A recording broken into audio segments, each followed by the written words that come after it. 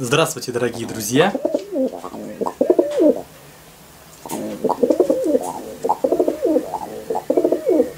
С вами уже здоровается Баря.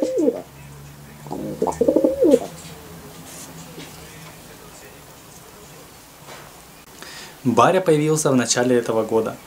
Такой с виду был неприметный птенец, пол его сразу и не знали, вот. но уже с юношества он начал показывать свои просто ну, невероятные бойцовские качества, гонял нашу ворону, что вроде и весело, но с другой стороны грустно.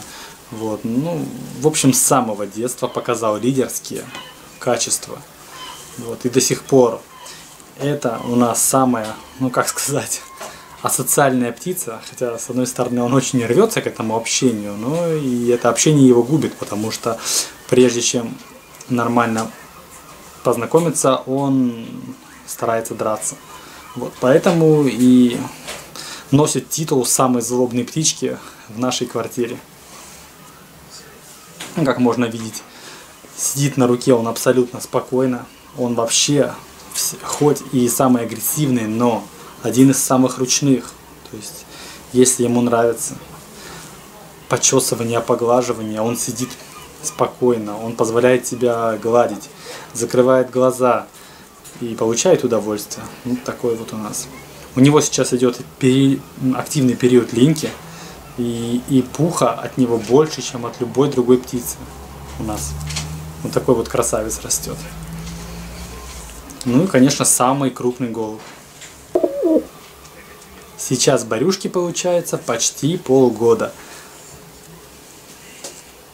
Что интересно, когда выбирали ему имя, оно многим не понравилось. То есть полное его имя это Барашек, сокращенно Баря, Барик. В общем, как только его не называли. Ну, по-моему, сейчас уже все привыкли, и Баря стал всенародным любимцем.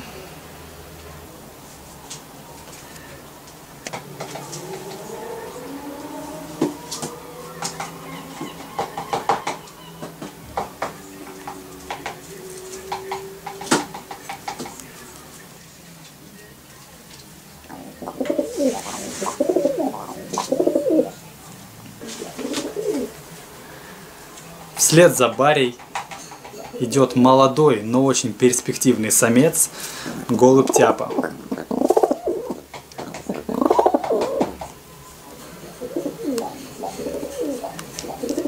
Долгое время он жил рядышком с голубем Барей и нахватался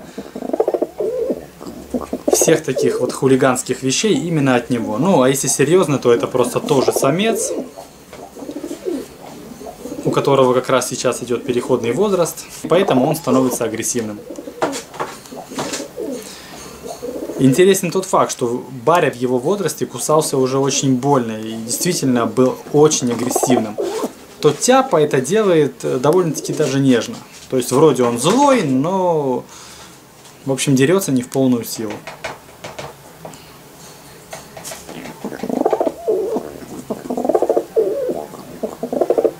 На руке любит сидеть, в принципе, так же, как Баря. То есть очень нравится. Если приласкать, то не кусается совершенно. Закрывает глаза и мурлычет.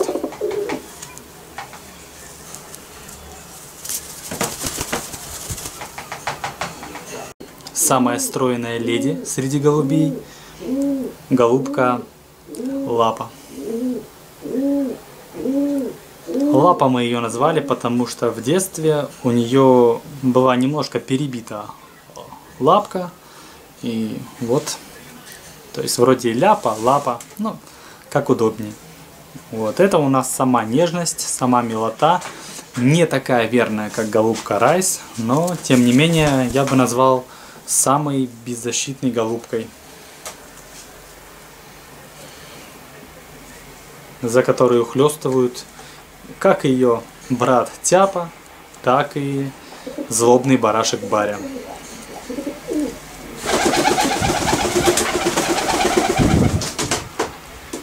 Ляпе только предстоит большая серьезная линька. И пока что окрас, ну, немножко невзрачный. но я уверен, что из нее выйдет настоящая королева бала.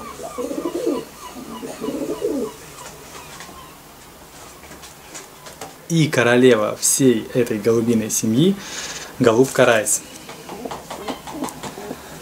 На данный момент ей полтора года.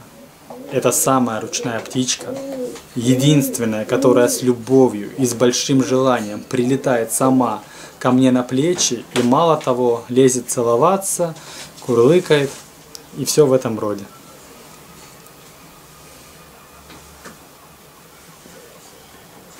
Поскольку давно уже отлиняла, имеет самое красивое и гладкое оперение среди всех голубей.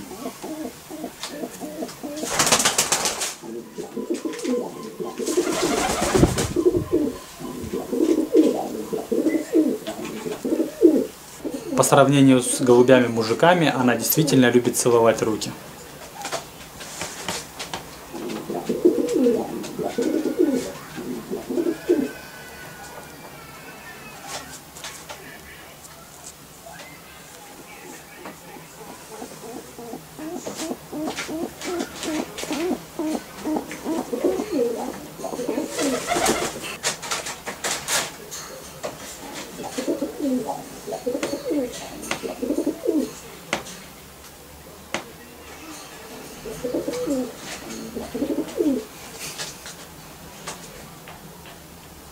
Баря, Баря, ты реально достал. Я хотел записать голос каждого голубя, чтобы зрители услышали разнообразие голубей, что у каждого свой индивидуальный голос, а ты здесь своим кваканьем всю картину запортил. Теперь они будут думать, что все голуби одинаково квакают, как ты это делаешь, понял? Почему ты такой петух невоспитанный? Ты невоспитанный петух, Баря. Невоспитанный, невоспитанный бык. Конечно, ты Баря, ты же барашек. Тебя надо было не голубь назвать, тебя надо было лягушкой назвать. Ты лягушка, Баря. Ты только и делаешь, что квакаешь.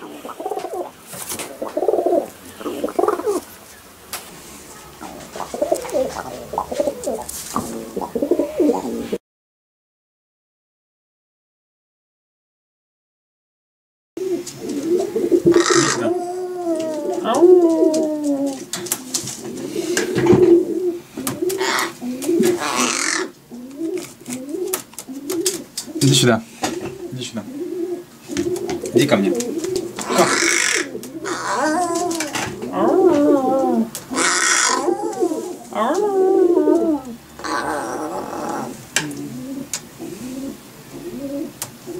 Иди ко мне.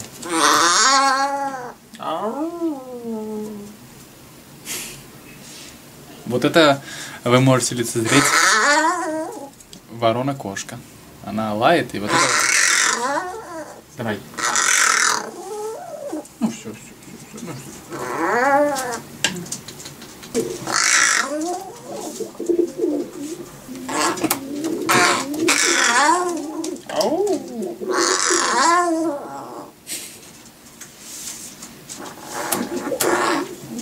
Ладно.